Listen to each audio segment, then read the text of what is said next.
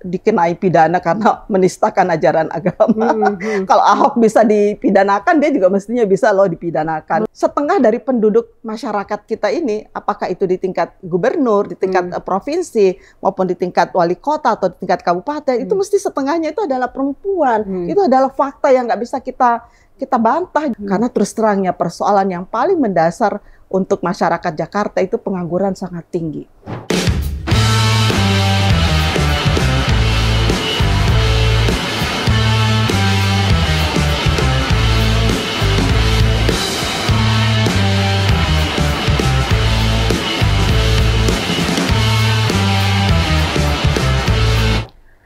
Pemirsa MPTV, berjumpa lagi dalam program acara Ngeteh Nong Ngeteh bersama saya Nong Darul Mahmada. Dan sekarang saya bersama narasumber yang khusus datang ke rumah langsung nih, yaitu uh, Profesor Musda Mulia ya. Terima kasih Mbak Musda. Makasih banyak Mbak Nong bisa datang. Udah disempatkan waktunya karena Mbak Musda baru pulang dari Papua langsung menerima kita di sini. Jadi uh, mungkin pemirsa MPTV saya harus kenalkan dulu sedikit tentang Mbak Musda. Jadi Mbak Musda ini uh, masih sebagai dosen ya, yeah. mengajar di kampus UIN ya, UIN yeah. Syarif Hidayatullah dan juga mengajar di mana-mana iya. sepertinya yeah. berbagai kampus nih khususnya kampus UIN di seluruh Indonesia itu mengundang Mbak Musda untuk menjadi dosennya dan juga sebagai aktivis pegiat uh, lintas agama pendiri di ICRP ya yeah. Iya. uh, in, apa internasional Indonesian, Indonesian Conference, Conference on Religion for Peace for Peace jadi uh, apa beliau juga sangat uh, aktif juga di uh, uh, perempuan ya isu perempuan dan juga anak dan juga uh, banyak sekali pokoknya uh, kegiatan dari Mbak Musda ini buku-bukunya juga banyak karya-karya beliau banyak jadi bisa dinikmatin juga untuk memperkaya uh, wawasan pengetahuan teman-teman di MPTV. Nah saya sebenarnya Mbak Musda uh, lebih karena sekarang lagi rame soal isu pilkada di seluruh Indonesia ya Mbak Musda ya. Dan juga sekarang lagi rame terkait juga uh, uh, ini apa ya soal tiba-tiba sejarah Nabi ini dibicarakan gitu loh. Karena ada salah satu paslon gitu yang ini memang konteksnya juga lebih ke untuk program program uh, paslon ini terkait mungkin soal pengangguran dan juga lapangan kerja tapi Kemudian ada uh, pernyataan uh, ungkapan bahwa uh, salah satu programnya itu adalah mengawini jan, uh, jadi janda kaya katanya kawin dengan uh, pemuda pengangguran gitu. Nah, kemudian diibaratkannya itu seperti katanya Siti Hadijah yang memang dikenal sebagai uh, waktu itu statusnya janda gitu kan dengan Nabi Muhammad yang waktu itu masih pemuda usia 25 tahun. Nah, reaksi publik itu marah sekali, banyak yang marah gitu ya. Karena uh, pernyataan itu uh, sangat ironis dikeluarkan atau keluar dari mulut uh, uh, katakanlah paslon dari PKS ya yang dikenal sangat islami dan lainnya tapi kok menyatakan seperti itu. Ada yang bilang tentu saja itu menghina Nabi dan kemudian minta maaf. Tapi ada uh, yang juga uh, kurang juga diperhatikan oleh si paslon ini sehingga tidak tidak spesifik minta maaf yaitu kepada janda perempuan gitu kan dan juga kalau tadi Mbak Yeni Wahid itu bilang institusi pernikahan. Nah kalau Mbak Musda sendiri bagaimana menanggapi terkait ini yang lagi, lagi rame ini Mbak Musda? Iya, saya hmm. heran ya Mbak Mbak Nong se hmm. dengan dengan gencarnya pembangunan di segala aspek yeah. termasuk uh, aspek perempuan. Hmm. Kok masih ada ya calon-calon pejabat yang memiliki pandangan yang bias gender seperti itu ya? Hmm. Karena itu saya sangat uh, kecewa dan hmm. sangat menyedihkan kondisi seperti ini. Seharusnya hmm apalagi ini di tingkat uh, DKI Jakarta, nggak seharusnya dong ya calon-calon uh, gubernur kita atau calon pejabat di tingkat DKI itu tidak punya perspektif. Jadi saya melihat uh, pernyataan dari Cawagup ini ya hmm. uh, dari tiga aspek ya. Hmm. Yang pertama dia itu nggak memahami sejarah Islam dengan benar. Jadi pemahamannya tentang sejarah Islam aja itu sudah bias ya. ya. Jadi dalam sejarah kita tidak mengetahui atau tidak diajarkan bahwa bahwa Rasul itu menikah dengan janda kaya. Hmm. jadi dengan dengan uh, tujuan bahwa bahwa uh, janda kaya itu adalah Siti Khadijah kemudian menikahi Nabi Muhammad karena itu hmm. pengangguran gitu hmm. kan. Hmm. Yang pertama Siti Khadijah itu banyak yang lamar loh iya, ya, tetapi iya. dia itu adalah seorang perempuan yang punya harkat dan martabat harga diri yang tinggi. Dia nggak nggak kepingin menikah. menikah iya. Ya, jadi dia menikah dengan Nabi Muhammad dan Nabi Muhammad itu bukan seorang pengangguran ya. hmm. ya, dia seorang pedagang ya. Hmm. Kafilah dagangnya itu mengikuti sampai ke Syam dan kebetulan hmm. dia menjadi salah satu agen perdagangannya Siti Khadijah. Jadi hmm. nah jadi kalau saya melihat dalam sejarah Siti Khadijah itu menikahi Nabi Muhammad itu bukan karena pemudanya atau lebih-lebih bukan karena penganggurannya, ya, ya, tetapi karena spiritualitasnya yang iya, tinggi, karena iya. karakteristiknya. Hmm. Jadi karena dalam bahasa agama itu karena akhlakul karimahnya hmm. yang begitu menonjol. Hmm. Karena Nabi itu sejak pemuda itu sudah terkenal dengan sebutan al-amin, ya orang yang sangat jujur. Nah itu juga akhirnya kan diceritakan oleh uh, apa nama asistennya uh, apa Siti Khadijah bahwa hmm. beliau ini Nabi Muhammad ini waktu itu belum jadi nabi ya uh, sudah menunjukkan ya cara-cara berdagang yang begitu clean ya begitu hmm, lurus dan ya. ini nanti menjadi uh, apa inspirasi bagi munculnya apa yang disebut dengan uh, clean bisnis sekarang bahkan di hmm. berbagai negara sudah mengutamakan kalau kamu ingin maju dalam bisnis itu utamakan kejujuran dan itu sudah ditunjukkan oleh Rasul hmm. dan nah, dan Siti Khadijah itu jatuh cinta itu karena karakteristiknya, hmm. karena hmm. akhlakul karimahnya. Ini loh hmm. yang perlu diluruskan karena itu hmm. penting deh hmm. orang ini belajar sejarah Islam kembali ya hmm. supaya ngerti seperti apa sih sebetulnya hmm. uh, kondisi pada masa itu sehingga tidak salah kaprah hmm. seperti yang dia ucapkan semena-mena gitu ya. Hmm. Bahkan kalau menurut saya ini orang perlu loh di apa ya di dikenai pidana karena menistakan ajaran agama. Hmm. Hmm. kalau Ahok bisa dipidanakan dia juga mestinya bisa loh dipidanakan melebihi ya. Melebihi ya. Hmm. itu betul-betul hati kita di sebagai umat Islam hmm. sangat uh, sangat apa ya, sangat terguncang ya dan sangat kecewa dengan uh, uh, pernyataan seperti itu. Apalagi disampaikan oleh seorang kader partai yang katanya sangat Islami ya. Hmm. Nah, yang kedua saya melihat Cawagup ini nggak mengerti soal bagaimana membangun kesetaraan gender bahwa di dalam masyarakat kita laki hmm. dan perempuan itu setara itu dan hmm. dijamin oleh konstitusi hmm. karena itu nggak boleh ada pernyataan yang bias yang nyinyir ya hmm. apalagi terhadap seorang janda nah janda ya seorang janda yang kaya pun itu bukannya tidak selamanya loh nggak semua janda itu hmm. ingin kawin ya. hmm. ya dia mungkin bisa menikmati hidupnya dengan cara-cara hmm. yang lebih uh, apa bermartabat hmm. jadi kalau saya ya para janda kaya ini mestinya me, di, didorong untuk melakukan upaya-upaya pemberdayaan hmm. ekonomi terhadap hmm. masyarakat. Jadi hmm. dia dapat uh, memberdayakan sesama janda, hmm. ya kan banyak yang miskin. Dia hmm. juga memberdayakan uh, pemuda-pemuda dengan membuat uh, balai latihan. Hmm. Karena terus terang ya, uh, persoalan kita itu adalah persoalan kemiskinan. Karena hmm. itu kita bisa menghimpun ya kelompok-kelompok yang kaya ini, termasuk para janda kaya itu untuk bagaimana supaya kekayaannya itu bisa menjadi lebih bermanfaat. Nah, hmm. ini kan gunanya pemerintah ya. Hmm. Nah, yang ke, aspek ketiga yang saya ingin uh, soroti dalam statement ini, ini betul-betul ya seorang calon pejabat ini sama sekali tidak punya konsep dalam membangun bangsanya. Hmm. Karena terus terangnya persoalan yang paling mendasar untuk masyarakat Jakarta itu pengangguran sangat tinggi.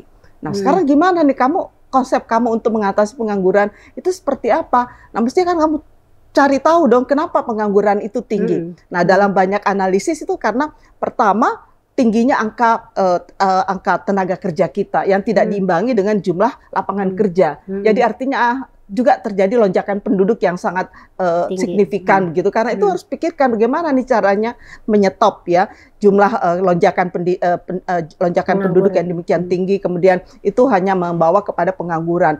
Lalu yang kedua ini soal pendidikan. Nah, hmm. Nah, pendidikan kita ini tidak memenuhi jadi uh, sarjana-sarjana sekarang itu banyak tidak memenuhi spek dari uh, pencari kerja. Hmm. Nah, karena itu kan mestinya calon-calon penguasa atau calon-calon pejabat ini memikirkan, oh sekarang diperlukan pendidikan yang berbasis digital hmm. misalnya. Jadi hmm. mungkin itu nggak didapatkan di sekolah-sekolah formal. Nah, hmm. Nah, kamu sekarang harus membuat satu pelatihan khusus. Hmm. Bagaimana agar supaya calon-calon pencari kerja kita ini memiliki spek khusus, keterampilan khusus, skill khusus yang berkaitan dengan digitalisasi misalnya. Hmm. Karena itu yang sekarang sedang dicari. Hmm. Mesti kan kepikiran ke situ karena hmm. itu saya kok sedih banget ya lihat calon hmm. pejabat kita seperti ini. Eh hmm. kalian itu para pejabat ya, kalian itu kan dibayar oleh uang negara, hmm. uang rakyat. Hmm. Rugi dong kita para iya. rakyat punya pejabat yang enggak hmm punya solusi untuk hmm. masalah-masalah yang sedang dihadapi oleh bangsa kita. Rugi hmm. loh. Karena kan saya pikir, aduh mudah-mudahan kita nggak punya pejabat yang cuma numpang hidup dari rakyat ya.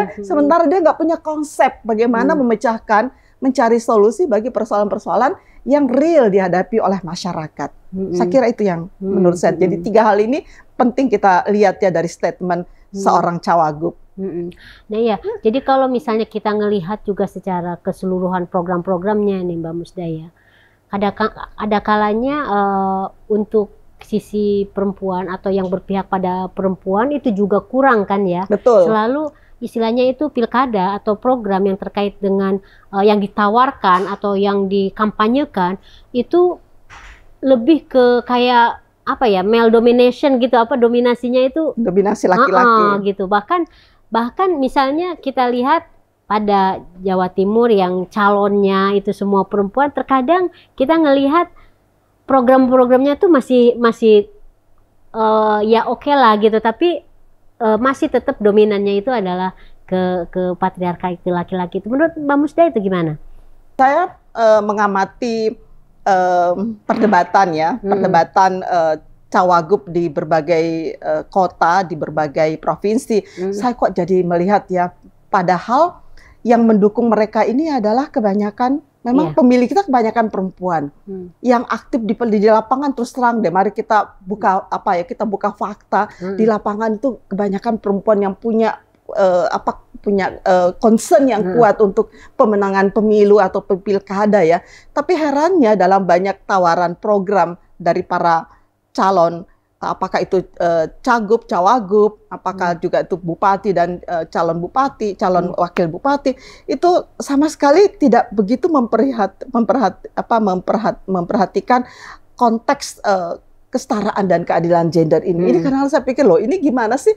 Padahal hmm. di mana-mana ya setengah dari penduduk masyarakat kita ini, apakah itu di tingkat gubernur, di tingkat hmm. provinsi, maupun di tingkat wali kota atau di tingkat kabupaten, hmm. itu mesti setengahnya itu adalah perempuan. Hmm. Itu adalah fakta yang nggak bisa kita kita bantah. Jadi hmm. tolong deh para para calon uh, kandidat ini, kalian tuh lihat BPS ya Biro Pusat hmm. Statistik, bagaimana setiap tahun itu me, mengapa ya menawarkan ya. kepada kita merilis nih hmm. jumlah penduduk segini. Hmm. Jadi nggak pernah bahkan dalam beberapa kasus saya melihat jumlah penduduk lelaki itu hmm. memang agak tambah ya, tetapi persoalan perempuan ini persoalan yang menjadi persoalan kita semua bukan hmm. hanya persoalan perempuan hmm. semata, misalnya pendidikan, jumlah uh, apa eh, anak-anak perempuan yang terlantar akibat putus pendidikan itu semakin bertambah bukannya hmm. semakin berkurang, jumlah angka perkawinan uh, anak dia hmm. perempuan hmm. pastinya itu bertambah jumlah uh, kehamilan yang tak diinginkan juga bertambah. Ini kasus-kasus yang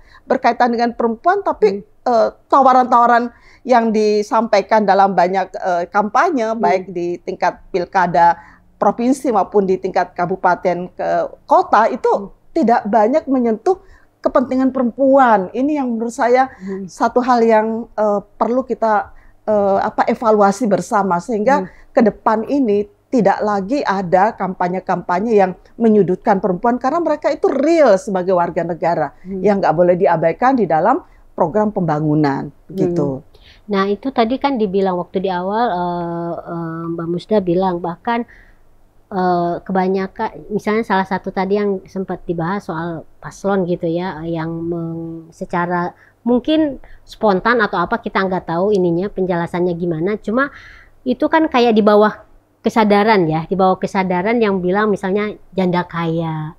yang mungkin oleh ngerasa bahwa itu hal yang biasa padahal itu kan sebenarnya bentuk dari pelecehan kan Betul ya. Hmm. Saya pikir ya para calon ini sadar atau nggak sadar ya itu hmm. satu bentuk bagaimanapun juga segala sesuatu yang keluar dari diri seseorang itu kan mencerminkan hmm. watak seseorang. Hmm. Jadi nggak asal muncul begitu saja. Karena hmm. orang seperti saya nggak bakalan muncul statement seperti itu dalam hmm. diri saya karena saya orang yang selalu melihat dalam perspektif saya itu kepentingan hmm. bagaimana kita melihat perempuan itu sebagai hmm. warga negara yang utuh yang nggak boleh mengalami diskriminasi, eksploitasi hmm. sedikit pun ya untuk alasan apa pun. Jadi hmm. kalau orang punya kesadaran seperti itu nggak bakalan muncul. Hmm. Jadi nggak bisa kita mengatakan ah dia kan cuma bercanda, hmm. kita mengatakan ah, itu cuma bercanda gitu kan. Oh hmm. justru justru kita nggak boleh bercanda untuk hal-hal yang berkaitan dengan gender. Hmm. Sama halnya kita nggak boleh bercanda untuk bom loh ya. Hmm. Kita mesti dipidana loh kalau yeah. kita bercanda yeah. tentang bom, kita kan dipidana. Sama hmm. halnya kita juga nggak boleh bercanda untuk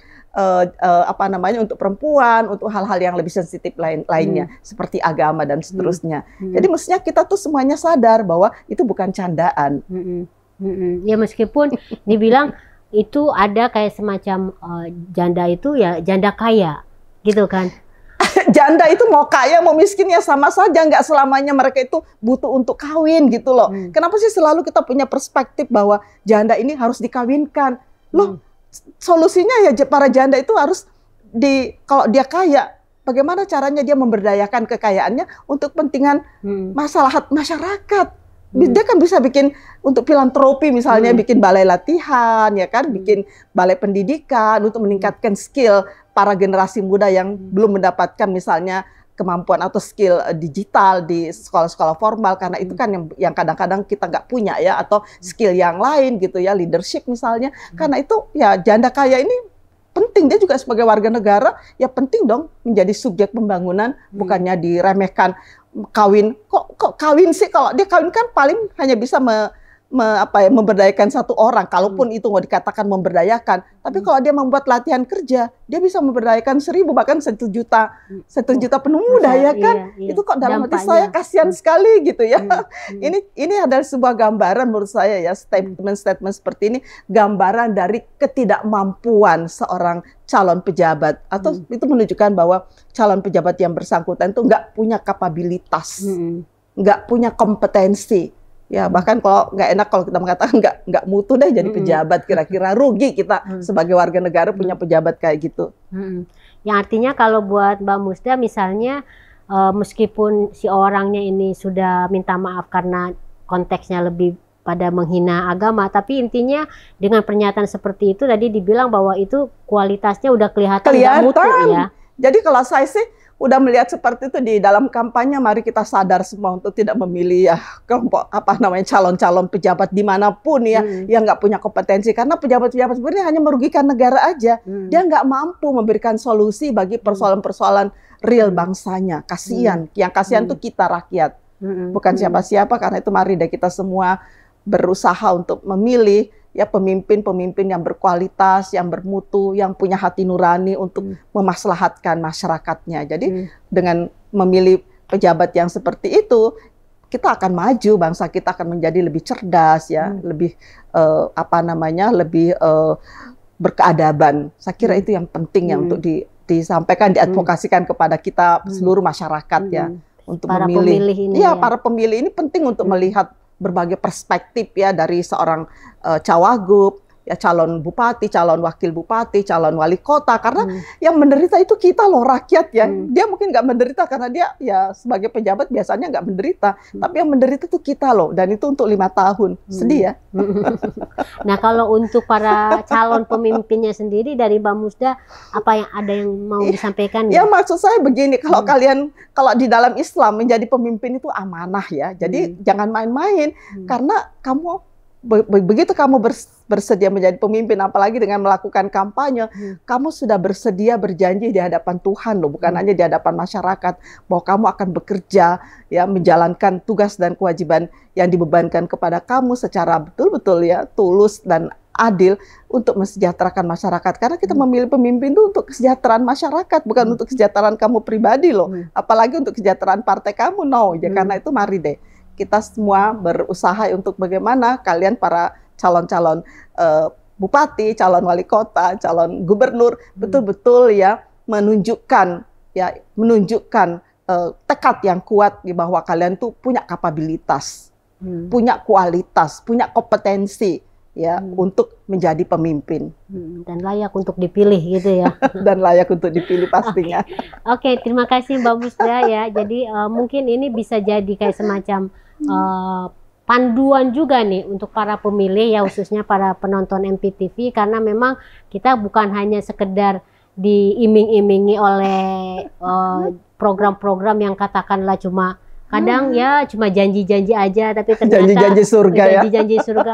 Tapi nanti pada prakteknya kan nggak nggak nggak ada yang bisa istilah istilah Prabowo itu cuma omon-omon doang gitu kan.